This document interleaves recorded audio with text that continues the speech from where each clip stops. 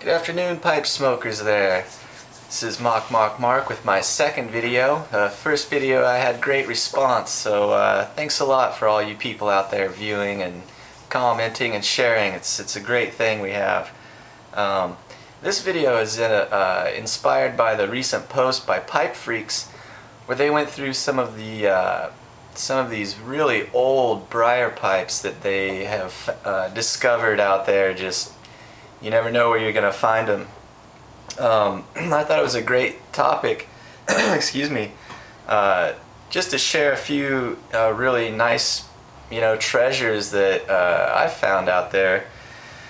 Um, mostly at antique malls and usually out in very small towns away from the cities where I, I tend to find better treasures and uh, have better luck finding uh, things at a, a great price and I'll just run through a few uh, things I found and maybe it'll inspire you to take a little road trip and uh, not only find some pipe treasures but to get to know your your local towns and state or wherever you live a little better. It's a great it's a great uh, it's a great way to explore and uh, you know it just gives you a reason to get out there and, and poke around in places you'd never have a reason to go. Uh, so anyway, and, I, and I'm, by the way, I'm, I'm not smoking in this video because I'm going to need both hands and uh, I'm going to be blabbering here. Um, anyway, uh, one of the first pipes I found uh, was just this simple Meerschaum pipe for $15. And to be honest, it's, it's not a great smoker. The air, the air passage here is a little restricted and it tends to uh, cause it to uh, gurgle and just uh, it's not a great smoker but 15 bucks you can't go wrong. Here's another Meerschaum pipe. This one's actually a great smoker and uh, as you can see I have the black uh, mouth bit on there just because the stem had been uh, bitten through. So cheap and easy fix. This pipe smokes like a dream even if it is a little scorched from the previous owner uh, again, $15. You can't go wrong. Here's another here's another Meerschaum. I, I tend to find mostly Meerschaums out there at the antique malls and whatnot.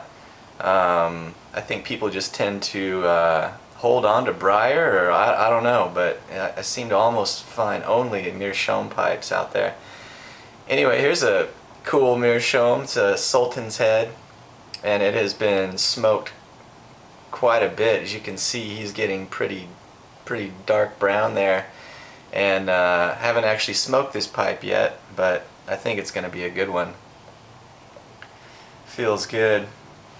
And uh, I'll show you a little trick here is uh, a lot of these used pipes, these Meerschaums have a, uh, a threaded bit that holds the uh, stem in to the shank.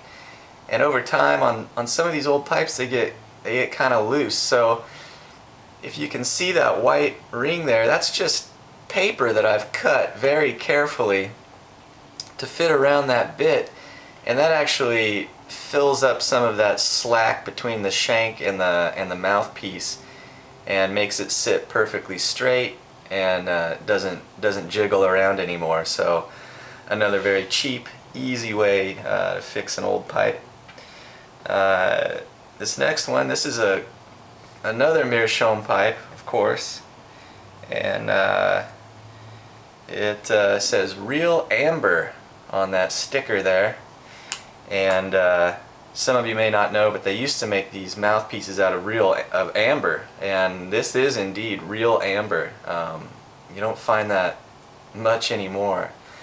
Um, I took this pipe to my local tobacconist and he was actually pretty impressed and he said this was probably made in the 1920s or the 30s and it's in great shape uh, and it is actually just incredibly light. I can't believe how light this pipe is and uh, yeah my tobacconist suggested to run a couple pipe cleaners with alcohol on them through the to the mouthpiece and smoke away and I've done so and it's a great great smoker and again $15 that seems to be the, the going rate for these used Meerschaums Now, a couple other non-pipe, uh, or non-actual pipe treasures I found, but pipe-related, uh, are books. And uh, this book, The Ultimate Pipe Book by Richard Hacker, is one I'm sure a lot of you are familiar with out there.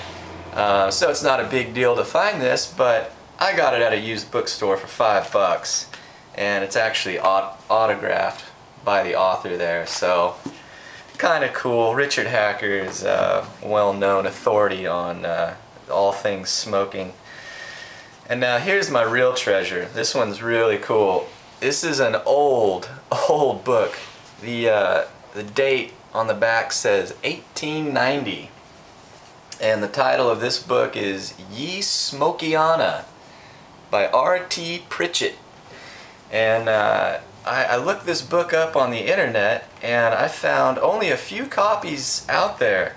Uh, posted on the internet anyway, and pe the people that have them posted are selling this same book for about four or five hundred dollars. I paid twenty.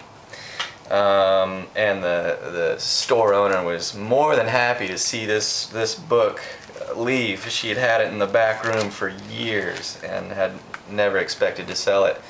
But it's a really awesome book where uh, Mr. Pritchett has uh, he's gone through all kinds of tobacco and the pipes of the world from all over the world uh, as they were back in 1890 and as you can see it's all completely handwritten and illustrated every page just beautiful.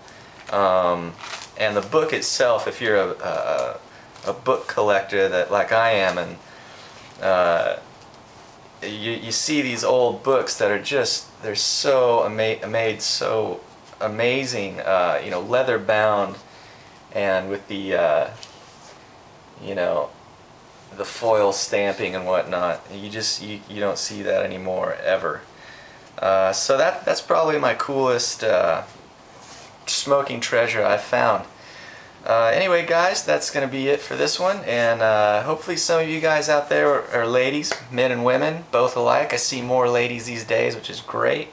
Uh, but hopefully some of you guys have some really special, unique treasures you can share that...